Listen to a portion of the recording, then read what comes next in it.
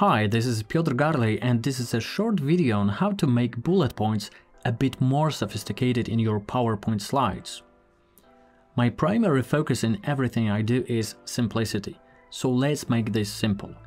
In this series of videos I will show you how to easily improve your presentation with a couple of clicks.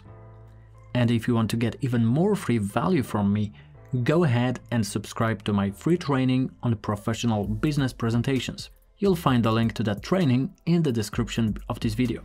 Can you make a logo in PowerPoint? Of course you can, but should you do it? I don't recommend that. There are plenty of other more suitable software and apps for professional design and branding. But yes, you can do it in PowerPoint. Today I will show you not how to make a logo, but how to use one of these elements from the logo inside the slide content. But first, let's make a simple logo. Just like that.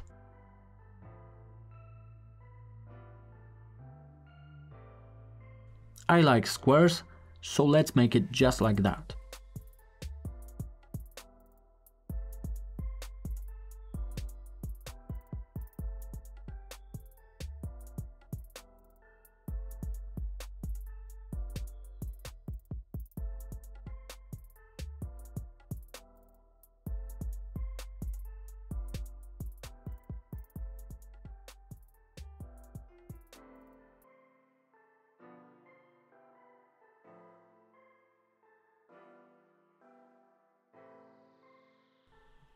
And now we can group it all and save it as a picture, as a PNG file to be precise.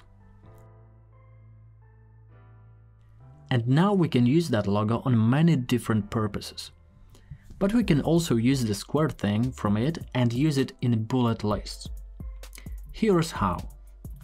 You ungroup the logo and save this square as a picture.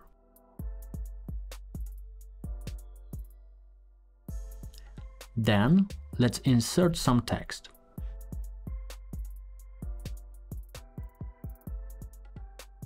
And let's make it a bullet list.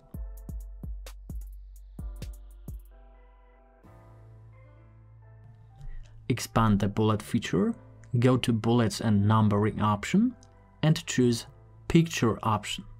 And here you can choose a picture from file you select the proper one and now we've got something like this.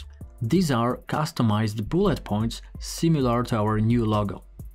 Nice, isn't it?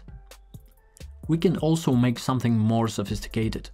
Instead of using a customized bullet point, we can use an icon instead. Just like that.